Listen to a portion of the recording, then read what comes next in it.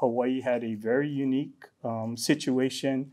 The, the time it takes for us to take a sample, send it all the way to Atlanta, Georgia, uh, to get tested, and then return to the islands uh, exceeds more than a week in the best of conditions.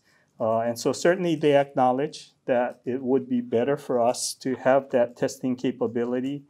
Uh, as I was in transit to the National Governors Association, they had actually sent the first test kits out. And as you know, um, the test kits were found to be defective.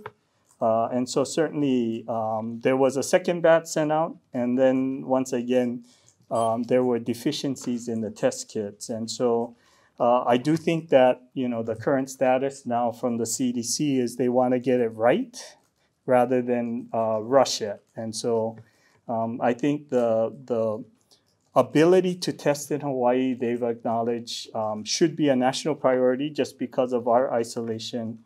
Uh, and certainly, I do expect that um, we will be amongst the first states to be able to test uh, for the virus uh, here in the islands.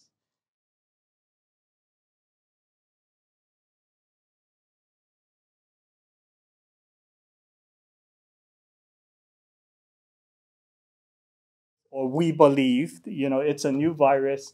Uh, there are lots of things that we don't know about the virus. There are some assumptions we're making because of uh, SARS and MERS and other viruses that we have dealt with.